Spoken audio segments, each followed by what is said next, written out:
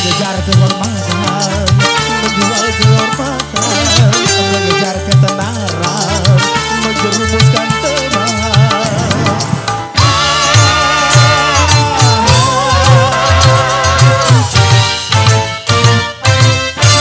itu dosa, juga menipu itu dosa.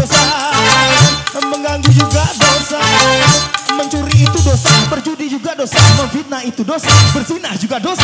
Dosa, dosa. Menipu